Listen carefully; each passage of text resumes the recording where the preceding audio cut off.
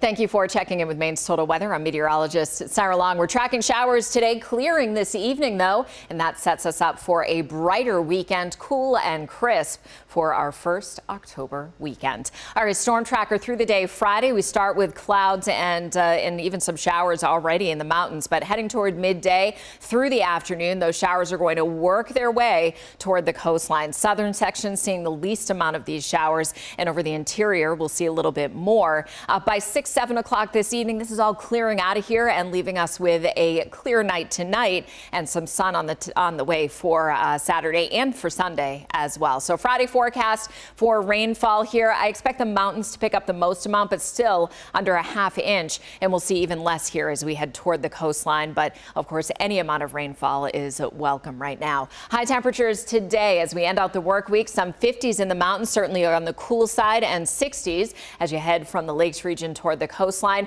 And these temperatures will be similar to what we're going to see this weekend. Weekend forecast with showers moving in today, moving out tonight, or even this evening. And then Saturday and Sunday, mix of sun and clouds and in the 60s. Chance of showers on Monday as a storm moves by to our south. We'll be keeping a close eye on that one. And then after that, another shot at some showers late Wednesday into early Thursday. Have a great weekend.